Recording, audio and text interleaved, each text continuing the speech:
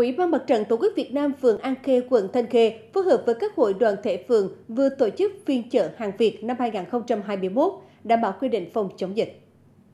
Năm nay, phiên chợ có 10 đơn vị tham gia, chủ lực là siêu thị Co-op Đà Nẵng, trưng bày các gian hàng giới thiệu những hàng hóa sản phẩm hàng Việt chất lượng cao, tập trung đưa hàng Việt về với khu dân cư. Ngoài ra, thực hiện các chương trình sang sẻ yêu thương vượt qua đại dịch do Ủy ban Mặt trận Tổ quốc Việt Nam thành phố phát động, các đơn vị đã trao các xuất quà ý nghĩa cho 10 hộ khó khăn trên địa bàn phường. Phiên chợ nhằm tạo điều kiện để bà con dân dân tiếp cận và lựa chọn mua sắm, tạo thói quen sử dụng hàng hóa thương hiệu Việt trong đời sống, góp phần triển khai có hiệu quả cuộc vận động người Việt Nam ưu tiên dùng hàng Việt Nam trong bối cảnh Covid-19.